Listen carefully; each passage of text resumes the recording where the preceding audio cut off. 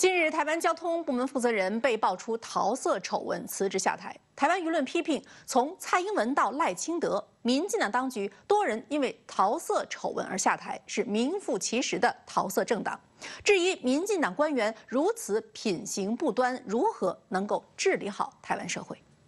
据台湾媒体报道，十九日在台湾网络上有人爆料，台当局交通部门负责人李梦燕婚内出轨张姓女子长达十年。并贴出了两人亲密合影。报道称，李梦燕常带该女子出入高档餐厅，在公开场合也毫不避讳。丑闻曝光后，李梦燕公开表示道歉，称已向赖清德和台当局行政机构负责人卓荣泰请辞，已经核准。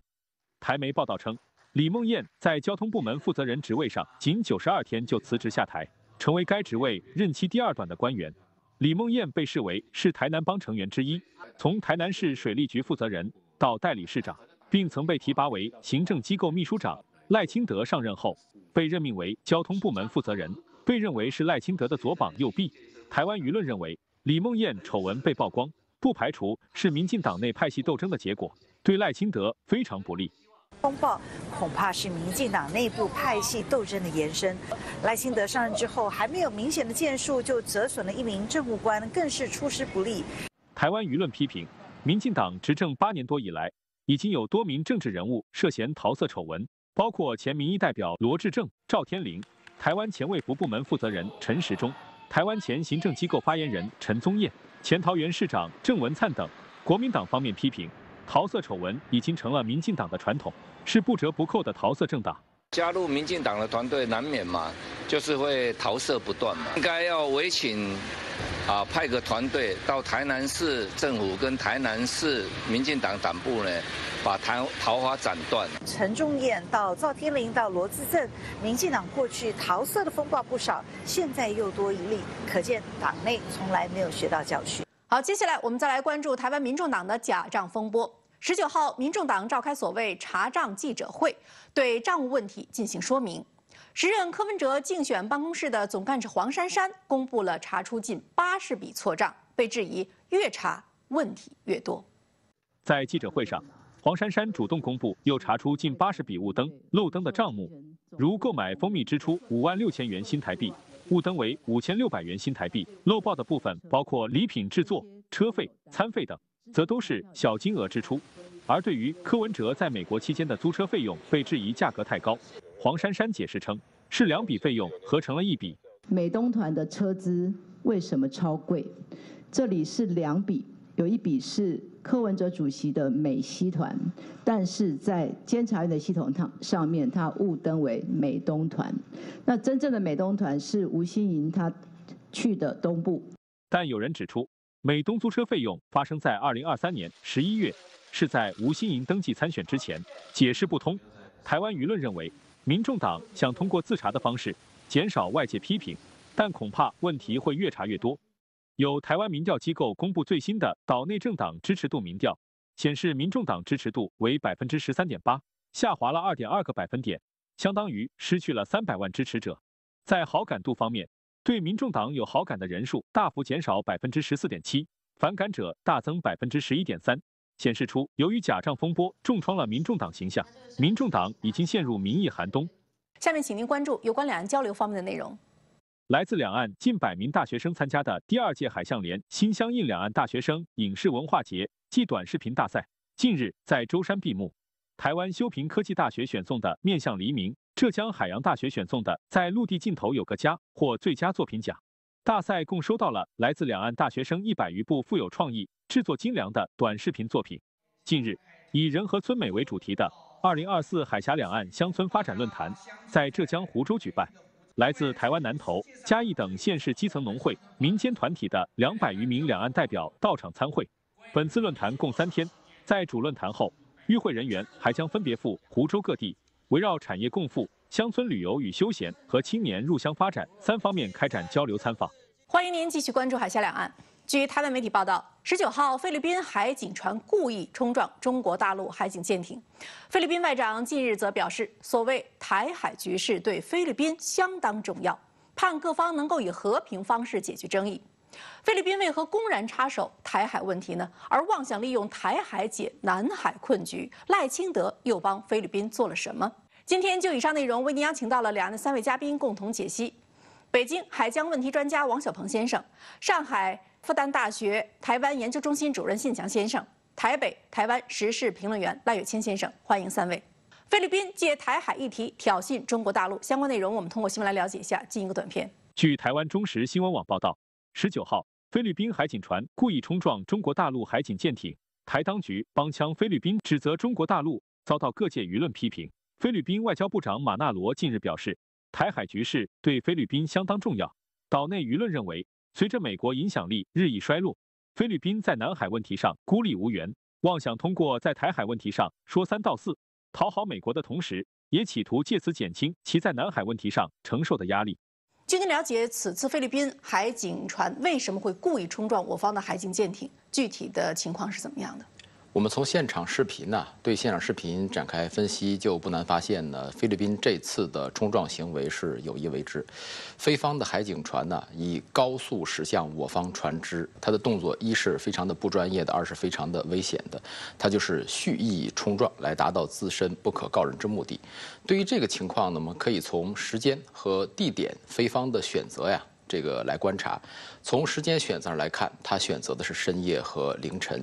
就是故意的要利用当时的天气环境，一个呢就是海上复杂的情况，另外一个呢就是这个光线啊非常的弱，所以呢要实施这样一个冲撞行为，它的目的有两个，第一个呢是使得中方的反制的难度加大，另外一个呢就是用茫茫夜色去掩盖他的非法行为。避免国际社会啊去高度关注、去了解真相，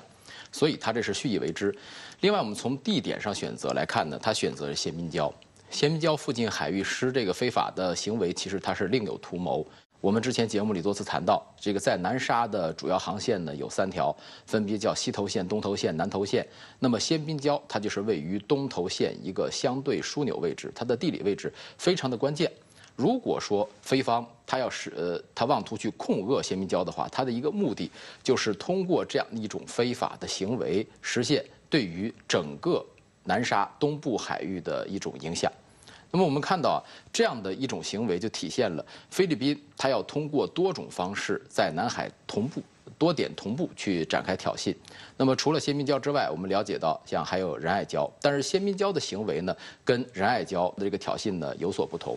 在仁爱礁过去，菲方妄图以礁控海，也就是他过去在仁爱礁非法坐滩一条破旧军舰，然后逐步的实现对于这个仁爱礁附近海域的他这种所谓非法的控制。另外，在这个先滨礁呢，它是反过来。换转换了一个思路，他妄图是以海控礁。首先呢，在海上多次展开碰瓷行为，多次展开这样，比如说这次的碰撞的这样一些非法的活动，然后呢，去吸引更多菲律宾的各类船只聚焦到相关的海域，再实现他去呃妄图去占据先民礁这样一个非法的目的。那么刚才王先生分析的很清楚，这完全是故意为之，而且是一个非法的违法行动。但是我们看到事情发生之后，台湾当局呢却表态声援指责大陆。那么信主任，您觉得为什么赖清德当局要帮菲律宾的枪呢？呃，对于赖清德当局而言的话，在一切的问题上，只要有可能，那么是绝对不能够跟中国大陆站在一边，这应该是是他的一个原则或者是底线。呃，当然了，很多时候我们甚至看到赖清德当局会不顾中国的国家利益，嗯，包括领土主权权益，呃，去跟国外的一些反华的势力或者一些国家的政府去站在一起，对中国进行中对中国大陆进行各种各样的无端的指责。这么多年来的话，这民进党当局，包括在蔡英文当政的时候，一直是跟大陆保持着这种相当远的距离。呃，甚至有的时候是会去站队美国、日本、菲律宾这些国家，呃，去给他们帮腔。呃，我们看到这次，包括在新民礁以及仁爱礁和黄岩岛相关的争议里边，民进党当局应该说是尽一般来说啊，是尽可能不吭声就不吭声。呃，因为毕竟赖幸德这种做法，包括此前赖蔡英文那种做法，在岛内其实也面对着很大的压力和这种批评，因为包括民国民党在内的很多岛内的爱国人士，其实还是对维护南海的。岛礁主权争议，呃，在这中争议过程中哈，维护这个主权和领土完整这方面，其实态度还是比较坚决，而且也是应该对赖赖清德也好，还是蔡英文当局是施加了一定的压力的。所以赖清德和蔡英文民党当局的话，一般来说不敢或者也不愿意在这个问题上去大肆的去公开宣扬他们的这种立场。呃，但是我们现在看到的话，尤其是在赖清德上台之后，呃，岛内这方面的批评的声浪其实在降低。赖清德的话可以说大权独揽，呃，在抗中保台这条他的这个台独路线上也是越走越远，胆子也是越来越大。所以我们看到在这次针对南沙的这种争议中，我们。呃，一方面，赖清德当局是抛出了一些不痛不痒的，什么维护地区稳定啊，反对单方面改变现状啊，呃，同时也更进一步对大陆进行的这种指指责。呃，我觉得这其实一方面是正像我们国台办所指的批评赖清德当局的，包括民进党当局的，就数典忘祖，出卖我们的祖产。呃，另外一方面也体现了赖清德当局尽可能在一切问题上中和中国大陆保持距离，甚至跟大到中国大陆采取一些对立和对抗这种反对的这种态度，以此来体现。他这种一方面是抗中保台，另外一方面的话是积极的投向向美国主导的印太战略，试图纳入其中，并且去跟周边一些国家通过出卖国家领土主权权益，去跟其他一些国家和政府拉近关系，为他的台独路线去撑腰张目这么一个基本的一个目的。总之，为了以外谋独，赖清德当局近期呢与菲方可以说是一唱一和，加紧勾连啊。与此同时呢，我们还注意到，呃，近期菲律宾方面呢也是频繁插手台海事务，比如说菲律宾外长呢就妄称台海局势对于菲律宾相当重要，何出此言呢？而为什么菲律宾要插手台海事务呢？赖先生，菲律宾知道民进党的台独，因为主张独立，那跟两岸之间的关系处得非常紧张。两岸的紧张的局势让菲律宾他觉得可以从中得到渔翁之利，所以他就开始操作台湾的议题。他希望透过台湾的议题能够给大陆施加压力，这样的情形下看能不能从大陆那边获得一些好处。所以他就一直强调说，台湾有事就是菲律宾有事，把台湾的问题跟菲律宾绑在一起。另外，他就再把事件再扩大。他说：“如果一旦发生战火，那战火在台湾海峡、在巴士海峡，那一定会燃烧到菲律宾，所以菲律宾会卷入这样的一个动荡不安的局势，而且海上的贸易、航路，那么都会大受影响。所以故意把两岸之间的矛盾扩大成为区域的安全的问题，那就影响到菲律宾的。”国家安全的，当然最后我们也都知道，他的这样的一个做法就满足美国的要求了。所以菲律宾现在自愿当马前卒，或者是接受美国的要求，然后当马前卒的时候，他就可以讨好他背后的收拾他、挑拨他、指导他这样做的美国人。或者美国政府这样的情况，会对于菲律宾的领导人，或许在美国的被冻结的资产，或是司法官司，或者是啊，他们之间跟美国所相互勾连的秘密，因为这个。大家都已经从这方面来揣测，所以大家合理的推断就是美国的这只黑手在后面操作。菲律宾的现在的政府完全满足美国的要求，那这样的话，美国就会满意，就会给菲律宾相当的利益，而不是给菲律宾人民相当的利益，是给菲律宾部分的政客、部分的人士相当的利益。可以说，现在菲律宾完全呢就是在效仿美国，想借台海议题来解南海的困境啊。那前面呢我们也说到了，现在在南海，菲律宾呢是麻烦重重。那么，信主，您觉得现在菲律宾到底承受着什么样的压力呢？我觉得主要是来自两方面的压力。一方面的话是在南海的这种紧张局势不断升级背景之下产生的压力。不久之前的话，也就在八月份，在不到四十八个小时之内。菲律宾的军机就有两次去强闯我们黄岩岛了这附近的空域，呃，遭到了我们解放军的这种拦截和警告。呃，另外一方面，我们前不久看到了在人围绕仁爱礁向那艘就是这个破旧不堪的呃马德雷山号的登陆舰去进行运补的这种呃发生了摩擦。呃，包括我们现在最最近看到了，在美国呃菲律宾的两艘海警船跟中国的我们的两艘海警船发生这种碰撞，呃，是恶意这种冲撞的事件的出发生。我们可以看到菲律宾是在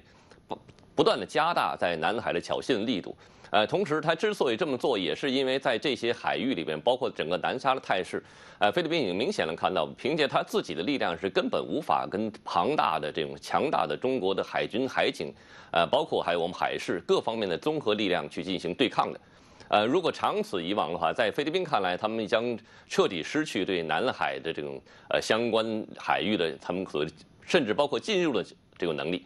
呃，更不要说去去夺取或者是占领更多的这种岛礁。另外一个方面的压力的话，应该说是来自于美国。美国这些年来一直在积极的推动，包括日本、韩国、菲律宾、澳大利亚这些它的这种呃所谓坚定的盟友，呃，在南海、东海，包括台海以及更广阔的印太区域发起这种对中国的挑衅，以此来牵制中国的崛起。这点应该说是美国印太战略推动的一个核心的目标。那么在这里边，美国当然也希望菲律宾在南海方向发挥更多的作用，甚至现在我们看到不断在怂恿和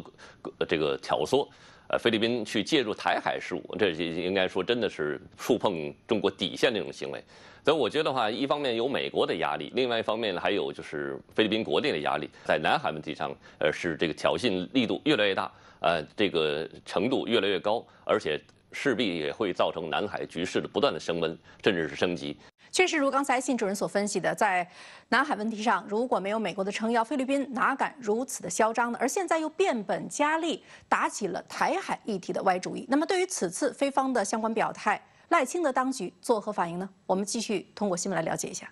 据台湾联合报报道，针对菲律宾外长关于台海局势的言论，民进党当局立即表达所谓欢迎与肯定。并妄言愿在价值、同盟及经贸三个支柱下，持续深化所谓实质合作关系。被岛内痛批与菲律宾蛇鼠一窝，各怀鬼胎。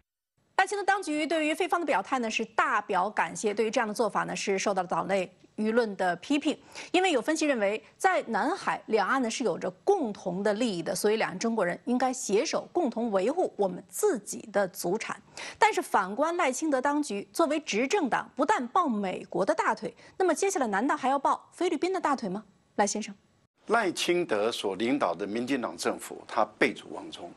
道理很简单，南海是我们固有的疆域。这是老祖宗留下来的极为珍贵的财产，我们一寸都不能放。即使在蒋介石时代，两岸之间的关系事实上是紧张的，但是碰到南海的主权的问题的时候，蒋介石的态度还是从这是中国老祖宗留给我们的这些财产。那两岸一旦碰到外面的时候，那就一致对外了。可是这些主张台独的这些人，他就不这样想的。他不是站在我们中华民族的史观，他是站在台独的史观。他一直想方设法的想抛弃钓鱼岛，想抛弃南海的主权。台独知道美国在支持菲律宾在南海闹事，所以他知道如果他进来维护南海的主权，也就是两岸共同维护祖先留给我们的这个主权的话，他就会得罪美国。得罪美国，那对台独来讲，知识体大。所以他们宁可放弃南海的主权，也不肯得罪美国。在这个情形下，他们就去巴结菲律宾。坦白说，这个对我们台湾的民众来讲，内心是五味杂陈。无力保护自己渔民的生命财产安全，反而呢还要对凶手示好，这样的以外谋独，真的是毫无底线啊！那么有分析认为说，现在菲律宾之所以从南海。把焦点转移到台海，是由于美国在背后下指导棋。那么，您觉得美国希望菲律宾做些什么？而菲律宾又是如何对待台湾当局的呢？在这个问题上啊，美国确实是幕后黑手。我们知道呢，美国在近年来一直要深度推动它所谓印太战略，而在印太战略布局当中呢，西太又是重中之重。我们知道，美国在整个西太地区呢，它有两大军事基地群，分别是东北亚基地群，还有一个就是澳新基地群。中间有一个环节就是菲律宾。虽然说菲律宾它的实力非常的弱，军事实力啊，在整个东盟国家当中几乎都处于末流，但是它是好比是这个一个沙漏中间的一个最细的玻璃管，这个玻璃管对于美方来说呀，它不希望它断掉，而这个玻璃管最细的部分呢，恰恰是菲律宾吕宋岛向北的这个巴士海峡，也就是靠近中国台湾岛这样的一个区域。另外，我们从美国要打造这个海洋带角度上来看呢，它是试图啊去串联一些地区的热点争端。那么这个岛链是要串联它的军事盟友，那么海带呢就是要串联啊这样的一些地区热点问题，比如说东海问题、台海问题、南海问题。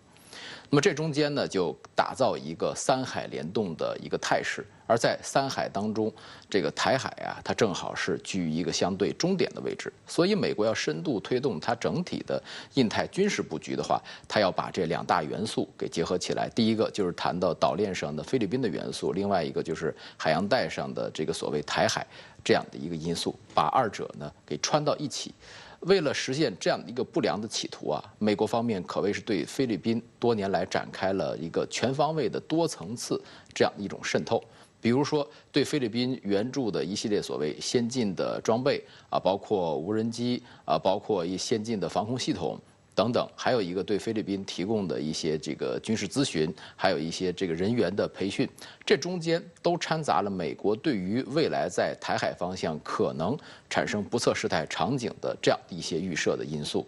另外一个呢，就是这个美国在具体与菲律宾共同展开的联合演习，比如像肩并肩演习等一系列的这种联合军事行动当中，它会主动设置一些科目。比如说海上封锁啊，比如两栖登陆，也是指向未来台海的某样某某些场景，这就是要对菲律宾展开一个深度的军事层面的捆绑。另外呢，就是美国它在整个西太区，它要打造一个全新的军事同盟体系，当然是以美国的利益为中心。那么这个军盟军事同盟体系当中，它也让菲律宾与日本和澳大利亚。分别去建立这种这个准军事同盟关系，在一些军事或者准军事互动当中，菲律宾它也会主动的去掺杂一些涉台海的因素，而这些问题呢，都是我们接下来值得去高度关注、高度警惕的。其实说到底，无论是菲律宾也好，还是台湾当局也好，他们都是美国手中被利用的一枚棋子和筹码，是为美国所服务的。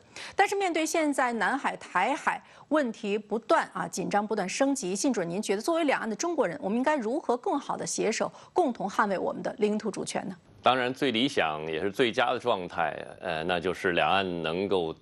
根据中国大陆我们提出了和平统一、一国两制的原则来实现最终的统一。这样的话，两岸真正能够携起手来，去捍卫我们的祖产，去捍卫中国的国家主权。呃，这其实应该说，对于台湾当局来说，应该说是已经最低的一种要求，或者是一个底线了。但是即便如此，我们看到很遗憾，呃，民进党当局还是做不到这一点。呃，如果我们回溯一下历史的话，在马英九当政时期的话，其实对于不管是东海问题还是南海问题上，呃，两岸之间其实立场是非常一致的。在蔡英文当政时期的话，他是把原来驻防在太平岛的一百吨级以上的这种巡防舰或者是舰艇，全部改成了十吨级这种小型的、非常老旧的舰艇。呃，事实上也是一种降级。因为对外呢，他是想展现出来，他第一不愿意跟大陆一起去在南海去去维权；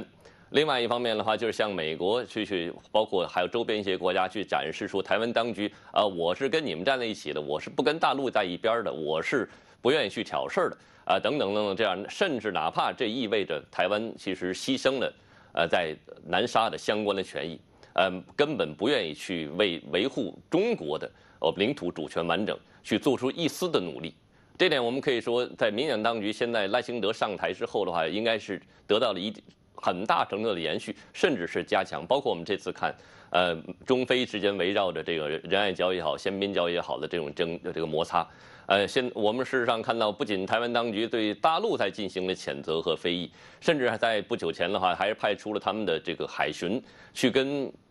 海菲律宾的海警，呃，去磋商什么特种部队之间的合作也好，情报的共享也好，等等等等。事实上，应该说这相关的他赖清德当局的这些做法，呃，再次体现了就是他是就是要走一条抗中保台、拒统谋独这条路。所以我觉得话，现实层面来说，呃，要想实现两岸携手合作来捍卫国家的主权，尤其是海洋权益，呃，现在应该说是比较难的。台湾是中国的台湾，解决台湾问题是中国人自己的事情，外人无权围堵中国智慧和干涉。在中国核心利益上，菲方必须慎言慎行，不要玩火，否则将祸及自身。民进党当局如果执迷不悟，企图以外谋独的话，必将自取灭亡。再次感谢三位嘉宾对以上内容所做的分析介绍，谢谢，也感谢您收看今天的《海峡两岸》，再会。